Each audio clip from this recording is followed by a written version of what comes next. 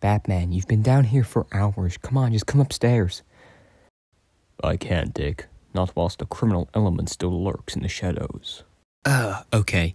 If there's not a crime alert in the next five minutes, then you come upstairs. Five minutes? Five minutes. Okay. Seriously? Ha! Yes. Come on, Robin. We got some crime to stop.